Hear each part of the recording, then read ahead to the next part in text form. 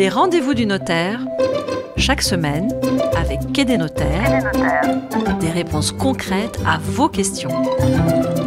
Les rendez-vous du notaire, comme chaque semaine, Patrick McNamara, le fondateur de quai-des-notaires.com, répond aux questions concrètes que vous lui posez.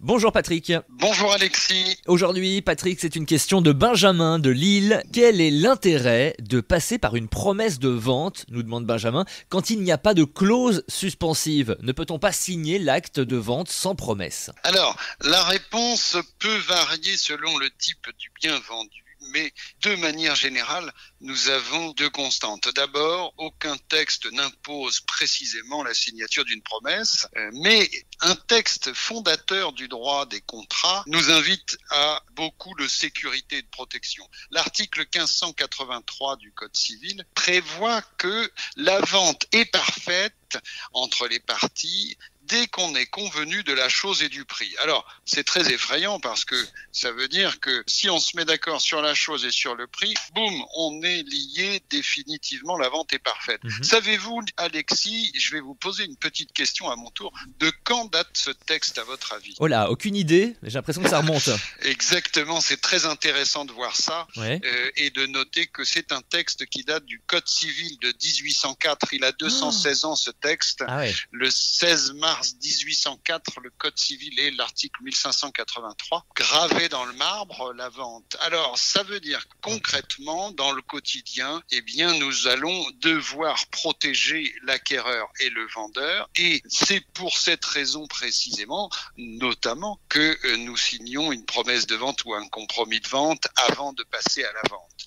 Concrètement, si on vend une copropriété, un lot de copropriété, un appartement, nous allons devoir récupérer des renseignements auprès du syndic sur la situation du vendeur. Si un droit de préemption existe au profit de la commune ou au profit du locataire, nous allons devoir purger ce droit de préemption, c'est-à-dire écrire au locataire ou à la mairie pour leur proposer le bien à la vente et exercer éventuellement leur droit de préemption. Donc, pendant ce délai préalable à la vente, il faut que les accords des parties soient signées, qu'elles se soient engagées l'une et l'autre, et c'est pour ça qu'il est nécessaire, ou en tout cas très conseillé, de signer une promesse de vente, même s'il n'y a pas de conditions suspensives. D'accord, donc c'est conseillé, pas obligatoire mais conseillé. Alors, euh, s'il y a des conditions suspensives, est-ce que là par contre, on est obligé de signer, de passer par une promesse Alors, s'il y a des conditions suspensives, euh, ce sera nécessaire. J'indique et je souligne que même sans conditions suspensives, c'est mmh. beaucoup plus que fortement conseillé parce que il faut fixer les accords des parties et les conditions de la vente à venir. Lorsque une condition suspensive est prévue, par exemple, de souscrire à un emprunt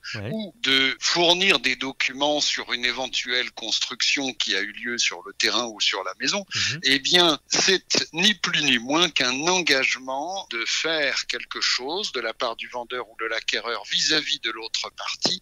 Et cet engagement de déposer un prêt ou de fournir des documents et d'obtenir son prêt, par exemple, eh bien, elle doit être encadrée dans des délais. Et vous savez qu'il y a toujours euh, un bâton et une carotte. Et si on ne respecte pas les délais, il faut aussi prévoir les sanctions.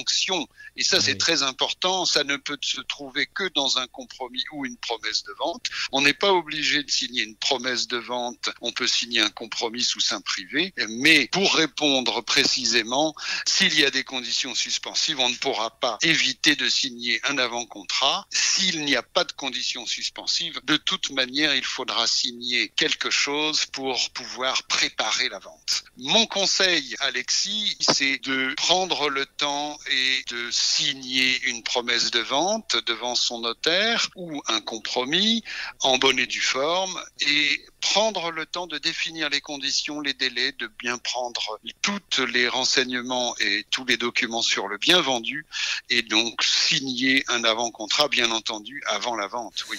Comme chaque semaine, Patrick McNamara répond euh, concrètement aux questions que vous lui posez sur la page dédiée quai-des-notaires.com slash les rendez-vous du notaire. Merci une fois de plus.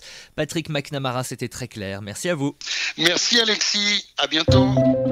Les rendez-vous du notaire, chaque semaine, avec Quai des notaires, des réponses concrètes à vos questions.